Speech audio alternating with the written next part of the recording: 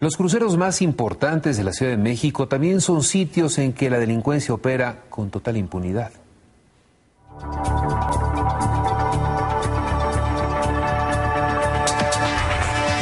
Es uno de los cruces más importantes de la Ciudad de México.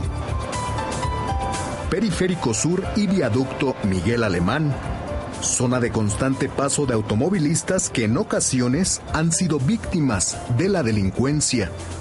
En este cruce es una zona muy conflictiva porque ocurren muchos asaltos. Hay veces que son con violencia y con amenazas y con armas normalmente hacia los automovilistas. Uno de esos asaltos ocurrió el pasado 13 de junio. Fue grabado por esta cámara de videovigilancia del C2 Poniente. Un vehículo blanco permanece estacionado con luces intermitentes sobre viaducto, justo debajo del puente de periférico. El conductor permanece a bordo. Tres sujetos descienden. El de sudadera blanca esconde una pistola y observa el panorama. Su cómplice se dirige hacia los automóviles que circulan a baja velocidad. Observa a su víctima y va tras ella. Comienza el asalto a mano armada. En solo 14 segundos despoja al automovilista de dos celulares y un reloj. En ese momento se activa la alerta en el Centro de Atención a Emergencias de la Ciudad de México y se da aviso a una patrulla. Tres minutos después del robo, los sujetos se dan cuenta de que una patrulla se aproxima. La patrulla trata de cerrarles el paso, pero logran evadirla y comienza una persecución.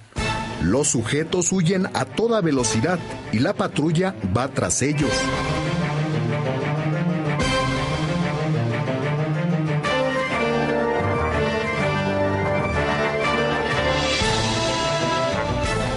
Al cabo de tres minutos de persecución, los delincuentes dan vuelta en sentido contrario y chocan contra un automóvil.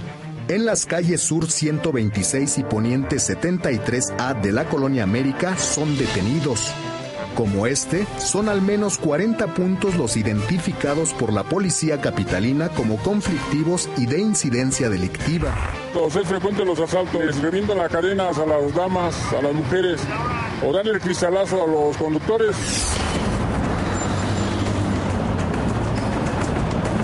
Al final del día, las 16 delegaciones tienen estos cruces. Por eso es muy importante que el ciudadano denuncie para que podamos poner en operación de una forma más asertiva el uso de estas cámaras.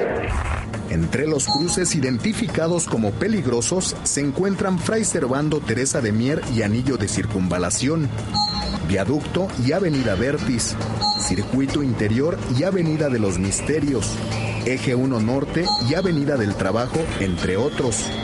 Sitios donde automovilistas o peatones han sido víctimas de la delincuencia en el Distrito Federal.